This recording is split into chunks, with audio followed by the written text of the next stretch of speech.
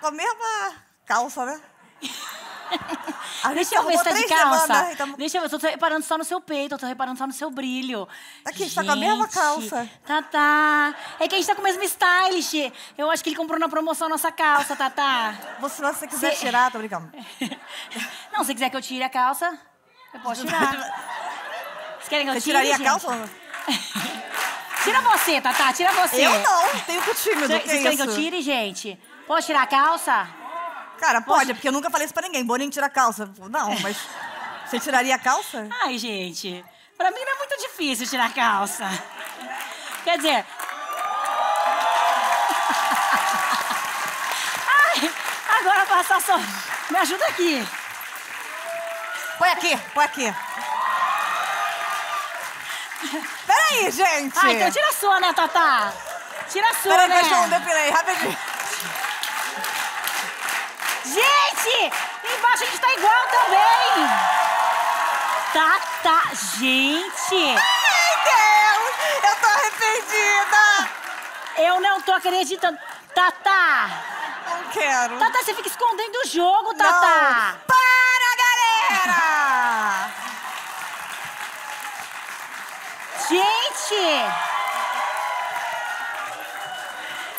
Gente, tão pequenininha, tão bunduda, né?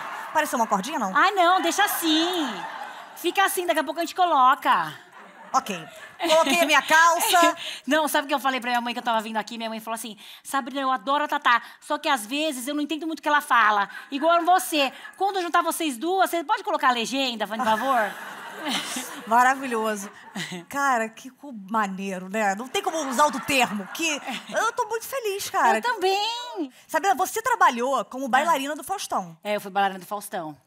Mas aí o bom foi que ele me colocou pra segurar CD. Na época era CD, viu, gente? Mas eu sempre fui ruim de dança. Não, mas você, que você é rainha de bateria, como é que você pode ser ruim não, de dança? na rainha da bateria eu, eu sou boa. Mas o resto, assim, é.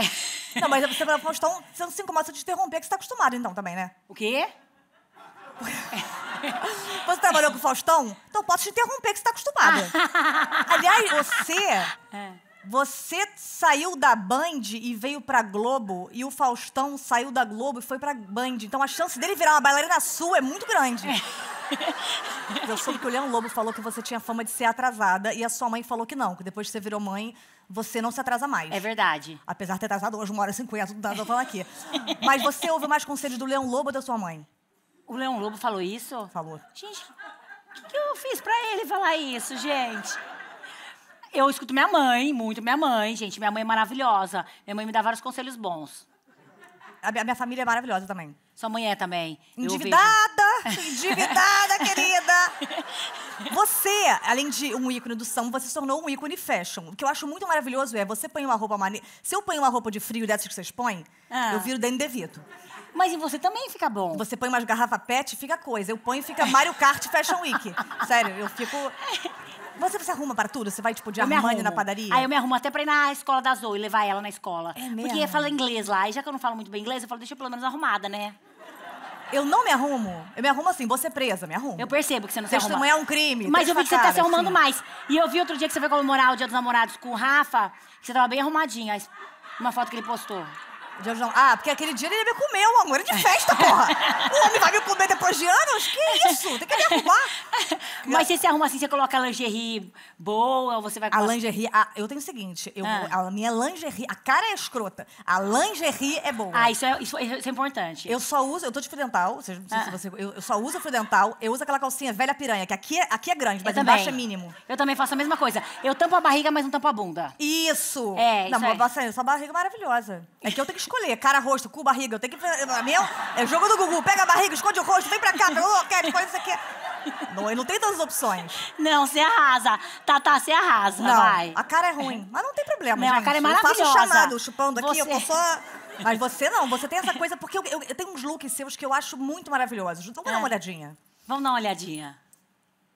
Maravilhoso, gente.